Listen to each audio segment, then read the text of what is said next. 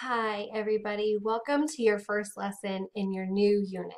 Today we're talking about atoms, which is the smallest possible unit to divide matter into, um, where it's still maintaining its properties, okay? So throughout this unit, you're going to hear me compare atoms and elements to fruit, okay? Um, so when I say um, an element, I'm going to say like an orange. And an atom is a piece of that orange that still is an orange. It still has the same properties of an orange. It's just in a piece, okay? So the element is the fruit or the fruit name, and the atom is the piece of that fruit, okay? So again, an atom is the smallest thing that I can break it down to where all of the properties within it are still that of the original element.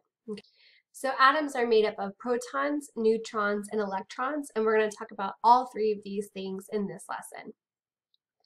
The first thing that we're going to talk about is the nucleus. The nucleus is the center of an atom. Now you might have heard the term nucleus when we talked about our biology unit in terms of cells, okay?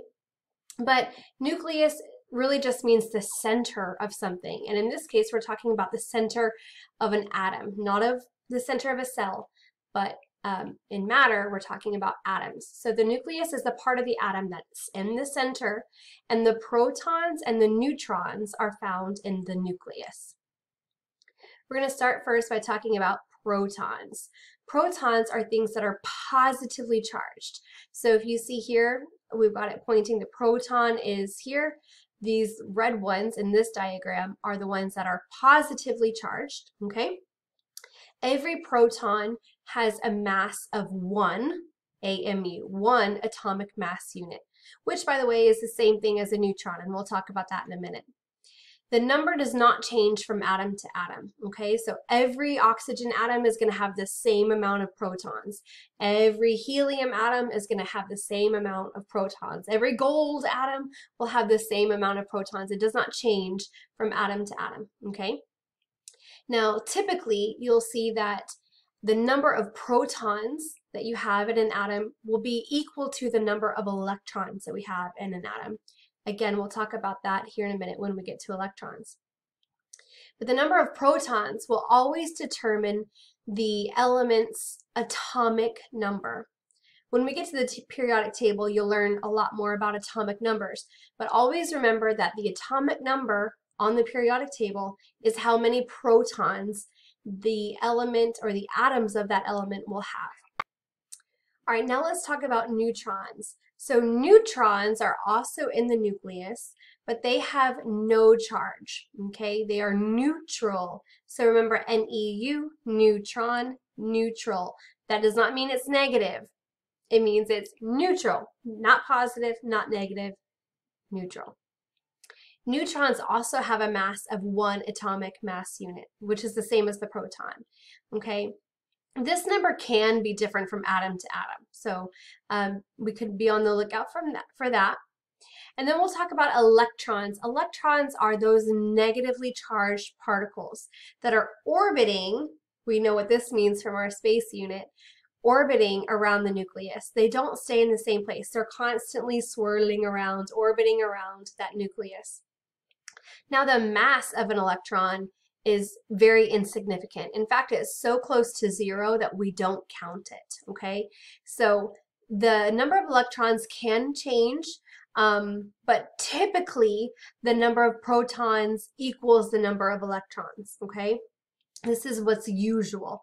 Now, the number and the arrangement of these electrons determines the chemical properties of an atom. What this means is the electrons that are here on the rings are going to be the parts of the atom that try to connect themselves with other atoms, okay?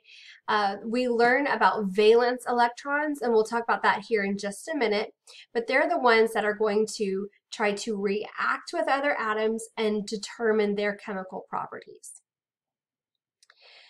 So like I said, the electrons are the ones that are involved in bonding, how reactive or unreactive a, um, an element might be or an atom might be. They determine the chemical properties of an atom. So as we've said, the electrons are floating around the nucleus and they float on rings outside the nucleus. Remember, inside the nucleus, we have protons and neutrons, and electrons are on the rings outside. Well, for every um, electron has to be on a ring. Now, the center ring here that's closest to the nucleus, only two electrons can fit on that ring. Other, uh, any more than that and it's too full. So another ring forms. This second ring can fit up to eight electrons. And too much after that, a third ring comes. And now we've got eight can fit on this ring. Now this applies to only the first 18 elements, but that's what we need to know for eighth grade star. So as we remember, the number of protons equals the number of electrons. So for example, if I have 10 protons, I'm going to need 10 electrons. And of those 10, only two can fit on the center ring, and then the um, second ring will fit the last eight electrons, okay? Um, so the electrons that are on the outermost ring of that atom are called valence electrons. Valence electrons, I want you to remember V for Velcro. They're the ones that are going to try to Velcro themselves to other atoms, okay? So let's do a quick check. The lightest subatomic particle hopefully you remember that that's an electron. It has such little mass that we don't even count it. It's so close to zero that we don't count it when we're talking about mass. So electron would be the lightest. And the two things that are found in the nucleus, hopefully you remember that those are protons and neutrons. And the electrons are on those rings outside the nucleus. All right. So there's many different ways, I'm going to move my picture here, there's many different ways to draw an atom. You might see them in any of these kinds of forms. You can draw it in just simple rings like circles, or you can draw those circles all swirly, kind of showing that they're orbiting around in different ways. Um, either one of these demonstrations or drawings would be correct, okay? And at first, they thought that the atom was a solid ball. So now that we know all this, we can make our drawings a little bit more specific. Let's take a look at um, an atom and how it relates to that element, okay? So we're looking here at helium. We see that helium has an atomic number of 2. Remember, you guys, we said that the atomic number is equal to the number of protons. So we should have two protons, two positively charged things in the center. One, two. Hey, look, we do. There should be two. Okay, we also said that if there's um, that the um, number of protons should equal the number of electrons. and if the protons are two, then the electrons should be two. So we should have two electrons on the outer ring. We do, one, two. Well, now we have to determine how many neutrons we have. Here we have the mass the mass is very close to 4. Remember, when we add up the mass, we're adding up the weight or the mass of each one of the parts of an atom. So we have protons plus neutrons plus electrons. But remember, we said that electrons is so close to zero that we don't even count it. So I'm going to put a big zero here. We know that we have two protons. But how many neutrons do we have if our mass is 4? Hopefully you're telling me through your computer screen that we would have 2. Okay, and yes, that is correct. We would have two neutrons, and we see them here, right here, and right here. Okay? So this is how we would count the number of protons, neutrons, and electrons in an atom based on what we see on the periodic table. All right, so now we'll look at something a little bit more hard. Here we have protons in blue, neutrons are in red, and electrons are in green. Now, if you look at the periodic table, you'll see that carbon has an atomic number of six. That means that it has six protons. And if you look at the periodic table, you'll see that the atomic mass of carbon is 12 or pretty close to 12. That's because we have six protons and six neutrons in the nucleus of a carbon atom. And that gives us a mass of 12. Now I'm going to ask, why isn't it a mass of 18? Well, remember that the electrons have such little mass that we don't count it. So we will not be counting these six electrons when we calculate mass. We are only adding up the protons and the neutrons to find our mass. Okay? Now, here's another kind of demonstration. Protons, 6. Neutrons, 6. That's a total of 12. We're not going to add up the icky other things. Those electrons are not going to be a part of that equation. Let's take a look at one that's a little bit more challenging. This is gold, okay? Gold has a proton um, amount of 79. We know this because it has an atomic number of 79. Atomic number right here, 79, which means you would have 79 protons in the nucleus. Now, in this model, they did not want to have to draw 79 little circles in here, so they just wrote 79 protons. Now, how many electrons does that mean? Also 79. Remember, protons and electrons are usually the same. It's a good assumption that they're going to be the same. Okay, so that's if you count up all these little e's that are floating in these rings, you'll get 79. Now, why is neutrons 118? Well, let's look at the mass. We know the mass. We're going to go ahead and we're going to round. We're going to say it's 197, okay? 197.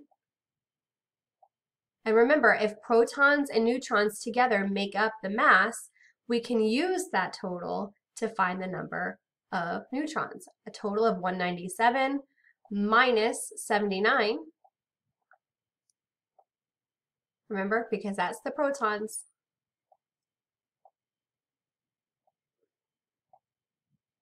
will get you a total of 118 neutrons, okay? neutrons. There you go. All right, so hopefully that's becoming a little bit more clear. We're going to take another look and do a couple more practice problems here in this video, and then you'll be ready for your class. Okay. This is your star reference materials. This is the periodic table that I need you to get super, super familiar with. Okay, this is the one that you'll see on your STAR test. We're going to be using it a lot in class. You can always Google a periodic table, but this is the one that I want you to use. Okay. Now, here we're going to try to name the element based on the atom that we see. So here I have the model of an atom. What is the name? First, let's determine how many protons we can see in the atom. Remember, protons are positively charged.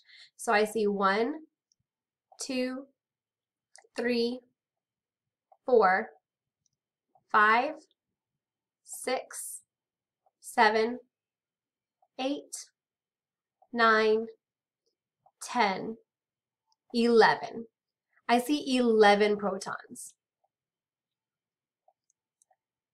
Okay, how many neutrons do I see? I'm going to change the color here so we can count them better. I see one, two, three, four, five, uh, I think that's six, seven, eight, nine, ten, eleven. Okay, I see 11 neutrons. Okay, now how many electrons? Hopefully it's 11. Hopefully it should match the number of protons. One, two, three, four, five, six, seven, 8, 9, 10, 11. All right, so what is its atomic mass? Protons and neutrons together. Remember, we don't count electrons. We do not count electrons because they don't have enough mass for it to be significant. This is the mass. Protons and neutrons, we're looking at somewhere about 22.